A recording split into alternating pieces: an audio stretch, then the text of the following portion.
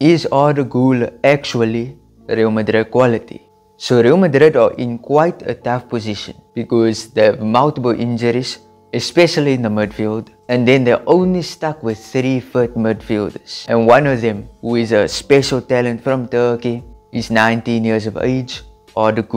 So with Arda many people ask the question, is he first team quality or is he starter quality? And the thing about him is, if you watch him, the eye test is there. He's a fantastic player, talented player, and he can go all the way in his career. But the thing is, he is still young. He has a lot to learn. He's not at the top of his game just yet but he's still going to get there. And after an electrifying end to 2023-24 season, in which he was on a roll, scoring in almost every single game he played, and leaving that season with stats that players have for the entire season. Now he just played the end of the season, and when he got that game time, he proved to Ancelotti that he is actually a great player that he should be playing because back then he didn't get too many game time and Ancelotti left him on the bench for games in a row.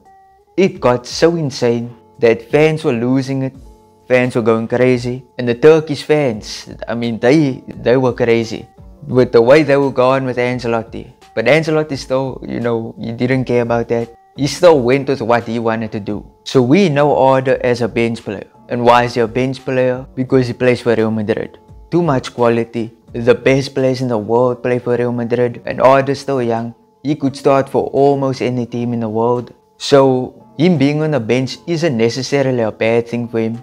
But I would say it's similar to a Odegaard situation where he needs the game time to prove that he's one of the best in the world. And in the new season of 2024-25, the season has not gone good for him.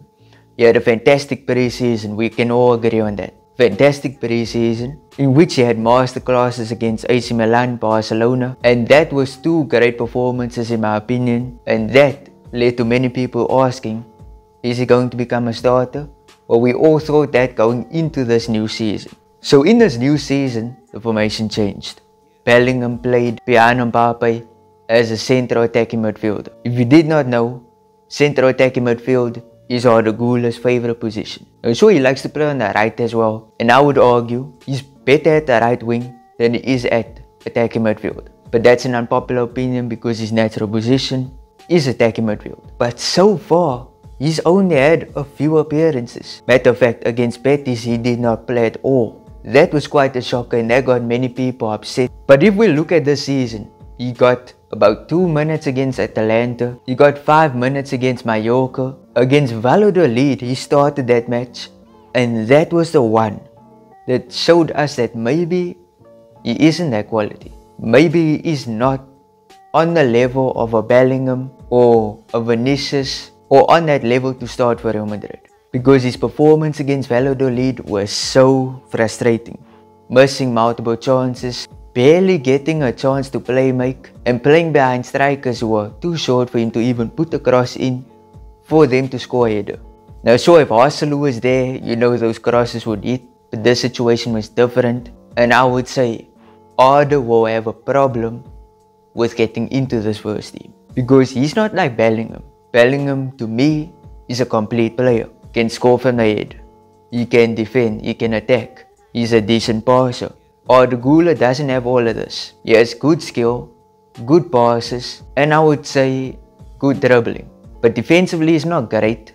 In the air, he's also not great. So it leaves us in a similar position to Odegaard. Will Arda leave the club eventually? Will he go on loans? We don't know. But him not playing against Betis leaves us all concerned. But then you look at the flip side. When he goes for Turkey, when he plays for Turkey, He's the main man for Turkey. They play him in almost every single match. He's a main starter. He puts on master classes every single match. Because I would say that team is built around him. And they want to maximize his strengths in that team. They even play him at striker. Like they make him a massive part of their team. And this actually benefits him a lot. Because if you notice with Turkey, he's on the ball most of the time. He's in the midfield. He's in the attack.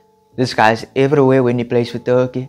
And when you look at his performances in the Euro, you're thinking, why is this guy not starting for Madrid? Well, the problem is the team is not built around him. The team is, I would say, both around Vinny and Bellingham. But when it comes to him with Real Madrid, there is hope. Ancelotti could find a way for him to perform. He could even use him as a right winger instead of Rodrygo, and that could work. That seriously could work. He's a great talent, nominated for Golden Boy, the Kopa Trophy. He's not gonna win it. Of course he won't win it, but he is a great talent, and that goes to show. And even though Yamal is going to win that trophy, I think, and this is my honest opinion, and it's also a hot take because I know a lot of people would disagree with what I have to say. But I think Güler is better. I think it's better. But of course, Yamal is also very, very good. I think they tied. I think they are on the same level. But Yamal is younger, so you know he has ways to go. He's only 17. Güler is now going to 20. So I think people even comparing them is crazy. And I know I'm comparing them right now, but that's also crazy. But either way, in this season, we just hope that he is going to become this big star we know he can be. And with how the team played against Betis, now sure, the team against Betis were not the best team. They did not play well throughout the game. But then they did score and they look like they're clicking. So it looks like after this international break that the team will start to play better.